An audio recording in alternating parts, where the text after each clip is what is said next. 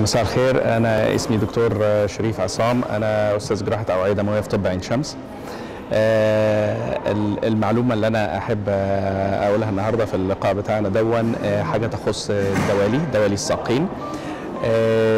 لأن في آه، من من الملاحظ يعني من الكثير من المرضى اللي بيترددوا عليا في العيادة إن في معلومات آه، مغلوطة كثير آه، آه، في آه، معلومات مغلوطة كثير عند الناس في بخصوص دوالي الساقين. آه، منها مثلا إن آه، الناس معتقدة إن الدوالي لسه بتتعمل بال- بالجراحة. والمعلومة دي آه، معلومة تعتبر قديمة شوية.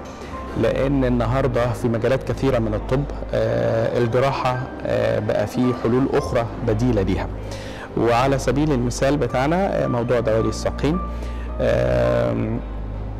إن الحلول بتاعتها دلوقتي أصبحت بال... عن طريق حاجات أقل تعقيدا وأقل تاثيرا من الجراحة زي مثلا بالليزر وبالتردد الحراري.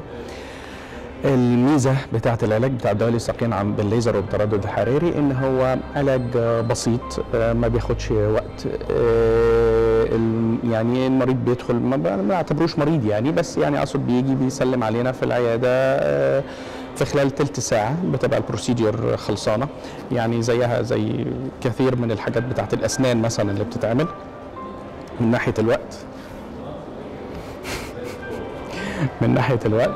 آه، فيعني ما ما أصبحتش العملية بتاعت زمان اللي هي حاجة بتاخد وقت طويل وبتاخد تخدير والكلام ده كله المفاهيم دي كلها اتغيرت. وأنا أحب بس أنشر المعلومة دي عشان الناس تعرف إن الجديد دلوقتي إن الدوالي بتتعمل بالليزر أو بالتردد الحراري وبدون جراحة وبدون تخدير كمان. يعني المريض بعد ما بنخلص البروسيدير بيقوم يمشي على رجليه مباشرة في ساعتها ما بنستناش مش نص ساعة حتى بعديها لا في ساعتها بيقوم يمشي على رجليه بيروح بيتهم سايق عربيته لو عايز.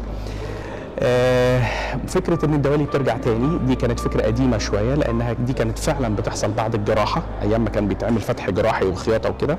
إنما حاليا في ظل وجود الليزر علاج بالليزر والتردد الحراري والطرق الحديثة دي كلها زي ما بيتعمل بره في دول العالم المتقدمة كلها آه، ما عادش في حاجة اسمها إن الدوالي بترجع تاني. فكرة إن الدوالي ليها تأثير مباشر على القلب دي برضو معلومة مش صحيحة عند كثير من الناس.